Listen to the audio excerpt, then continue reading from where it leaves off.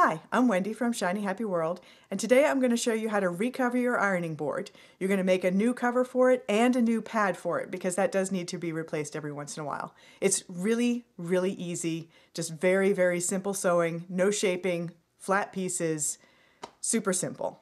Let's go do it. This is my existing ironing board.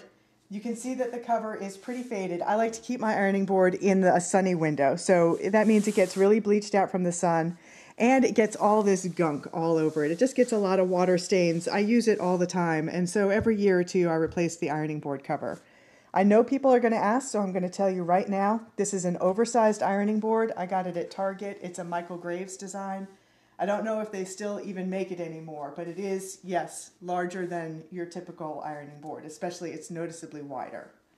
So we're going to flip this over, and I'm going to show you how this is put on there and how easy it is to replace. One thing I did want to show you is that the back of the iron, the ironing board itself is a grid. It's a metal grid. And one of the problems that I'm having right now is that the padding has gotten so worn out that the grid is now showing through uh, the fabric when I iron. It's actually, it's not really scorching a pattern in, but you can see that grid showing through the fabric, and I don't want that to keep happening.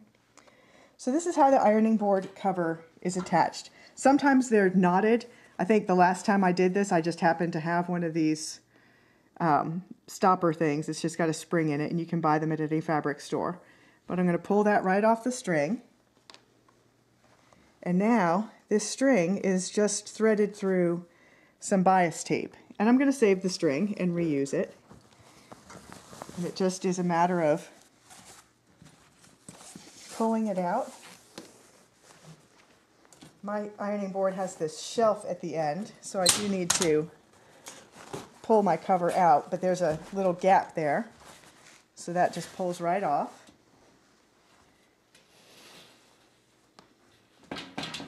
Just work it the rest of the way off, and get this out of here.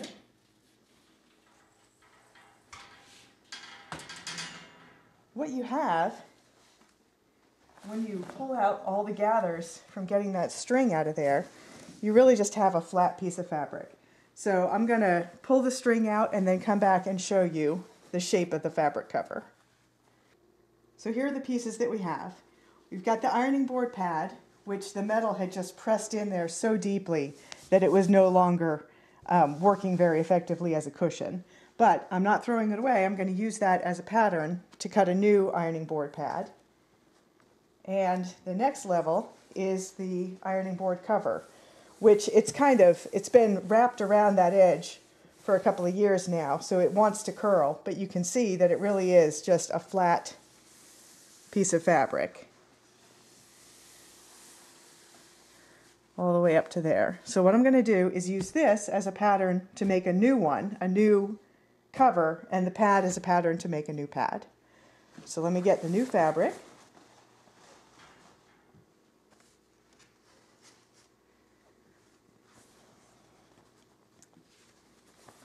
This is the new fabric that I'm going to use. And ideally you wouldn't want to piece sections together because you don't really want a seam in there, but this is the way I wanted it to look, so I went ahead and did that. One thing I did though to keep that bulk of the seams to a minimum, normally I would press the seams just toward whatever the darker colored fabric is, but in this case, I went and pressed the seams open just so it would minimize some of the bulk so I wouldn't get it super bulky on one side and not at all on the other. This is my cover. So I'm going to lay that out. And I'm just going to lay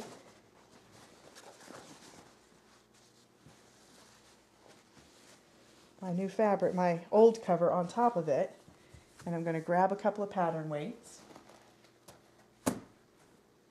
And I'm going to use these to stretch out that curve where it's used to being pressed around the ironing board.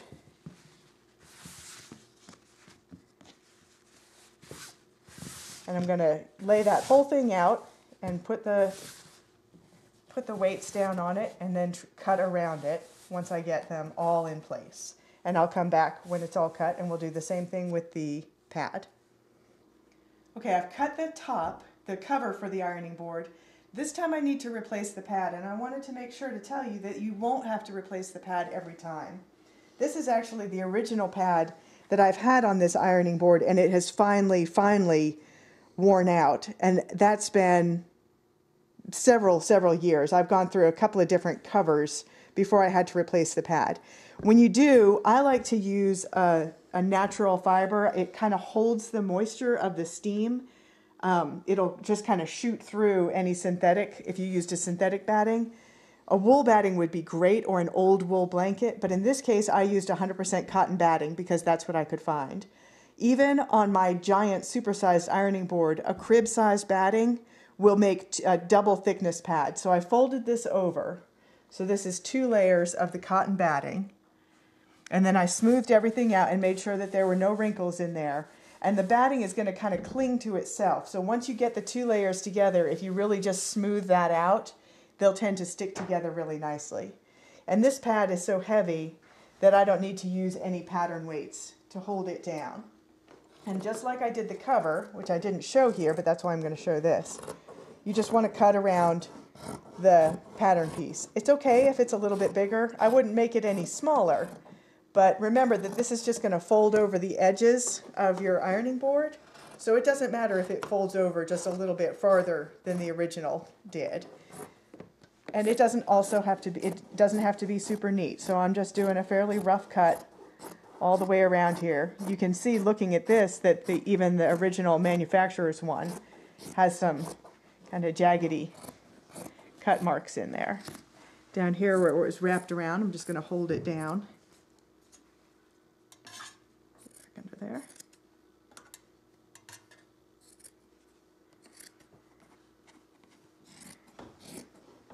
Work my way down the last edge.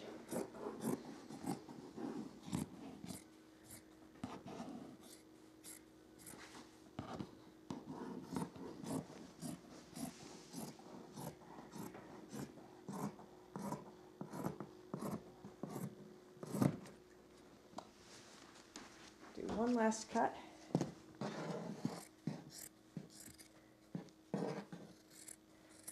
And now we have all the pieces ready to go. So the next step, let me just pull out the cover, is that we need to make a channel to go all around the edge for that string to slide through. And for that, I'm using just some purchased bias tape.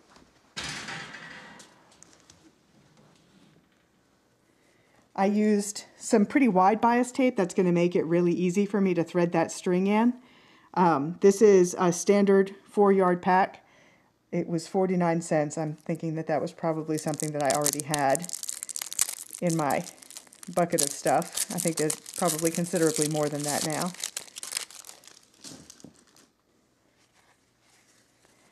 And this is already, when you buy it, the double fold tape, it's already going to have the edges folded over. So all I'm going to need to do is fold this over the edge of the fabric and then sew it down. And I'll sew it once through both layers. But I'm not going to do that on here. I've got another video about working with bias tape.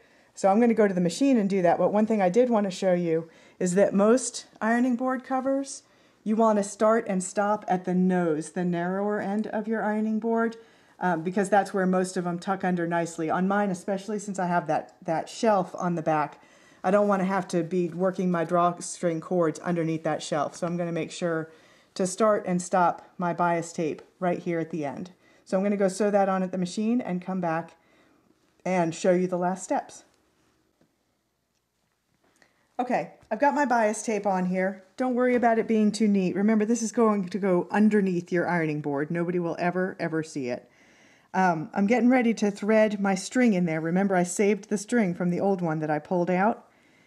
I'm going to use this needle to thread it. It's got a nice big eye, and most importantly, it has a blunt tip. This is a big, big tapestry needle, so it has a blunt tip. So when I thread it through, it's going to tend to run down the channel instead of poking through the sides. So I've got this threaded, I've got a nice long tail in there, and I'm going to start just threading it in. Push it in, pull it off, just like if you were threading elastic through something. So I'm not going to make you watch the whole thing, but I'm just going to keep pushing the needle through, bunching up the fabric onto it, and then pulling it off. Pushing it, the needle in, and see that tapestry needle goes right through there. Hold on to the tip of the needle and then pull the fabric back. And I'm just going to keep work, working my way all the way around until I come out the other end. And I'll come back with that. So I've got my threads coming out of here, two ends.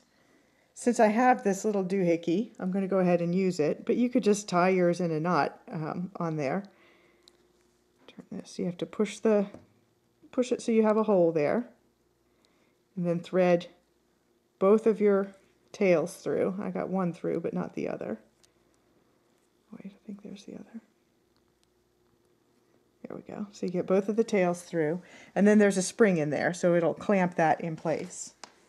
Now, I just lay it face down on the table or on the floor, wherever you have to work. Make sure you get this cover, or the pad, nice and smooth and fairly centered on there. And we can smooth the cover out a little bit more on there. Mostly you just want to make sure that there aren't any wrinkles in that padding. And then, just set the ironing board in place. And in my case, I need to tuck this up underneath this shelf.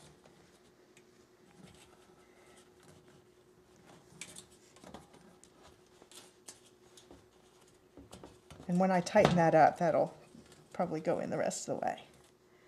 And then go down to your pointy end. And just start drawing those strings up. And it's all going to magically curve around.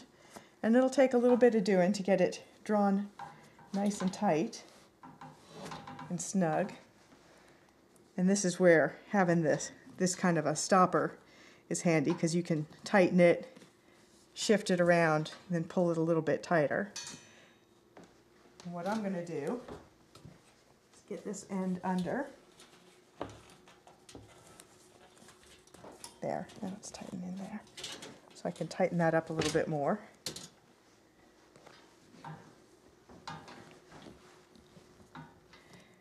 And then I'll flip it over. Normally I would do this standing up, but I want you guys to be able to see it. Smooth this out. Make sure I didn't get any wrinkles under there. Work it under. And then now that the weight is not on it, pull it off the end of the table a little bit.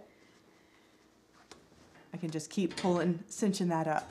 And it for a couple of days, a few times using it, it'll loosen up a little bit and settle into place. And just after you've used it for a few days, give it another tighten, and then another few days later, give it another tighten and see how it goes. But eventually you'll get it snug down and it'll be really well molded to there. And I have a brand new ironing board cover.